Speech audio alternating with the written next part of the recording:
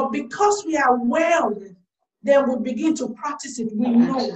When I walk on the street, I know I'm anointed. So I'm not lost in the crowd. So if I'm driving, I tell myself this is an anointed woman driving. When I'm walking, this is an anointed, I'm conscious of it.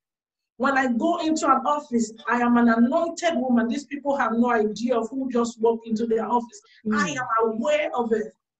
So because of that, it keep manifesting. You can't manifest something you are not aware of. Mm. God wants you to be conscious. Mm. So anyone who have been taught tonight, whether you feel it or you don't feel it, He have marked you for difference. So mm. when you walk to a store, you're different. You are not all those people that you see.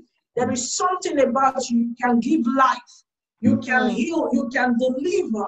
Jesus lives in you. Let's be conscious because the mm. reason for the sorting prayers is that he wants to release a lot of people to the world. He wants to pour his glory mm. upon us and release us to the world. So that's the purpose of it. And we mm. must begin to manifest in it. We come back every sorting to, to get more, to be refilled. Yes. Amen. So that we manifest more and more and more and more to the perfect day.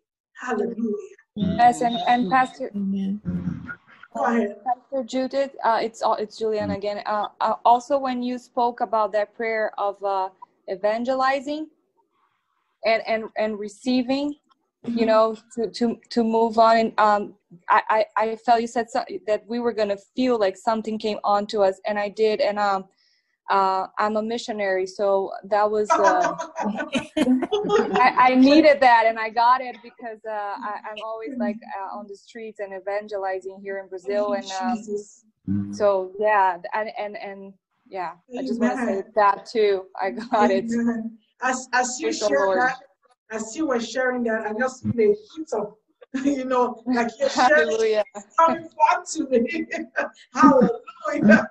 Yeah, Lord. yeah, He's moving. I praise, I praise the Lord. Amen. Praise the Lord. Hallelujah. Thank you, Jesus. I just want to add, so Judith, when you were talking, releasing stuff to us, I felt the Holy Spirit um, put a cross on my forehead. He, he Amen. Amen. I, amen. I was just saying it because he told me, like, as you are blowing, I will blow something like I will blow, I will blow my air like somebody. Mm. I don't know if I'm speaking, if I'm saying it right. Like when somebody blow air to you, mm-hmm. like release air to you. Yes, I was feeling that the Holy Spirit want to release air on somebody's forehead. So I'm waiting for the person who will share that testimony. That's a good one. Hallelujah. Mm-hmm. Amen. Thank you, Jesus. Mm-hmm. Some other person was about to talk. Before. Yeah, that's me. That's Belinda. Okay. I was really expecting to receive the touch of God. I was thinking it's going to be on my head, on my, I on my, or I don't know, but mm.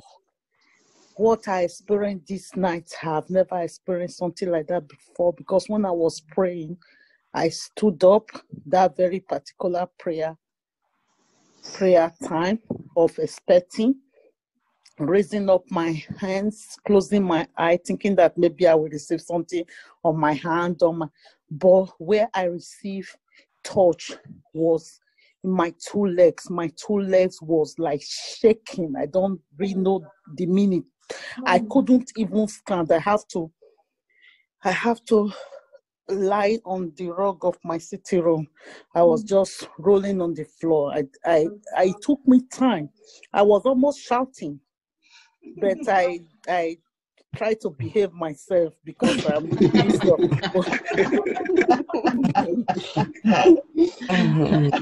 I've never seen something like that before. my two legs, my two legs like this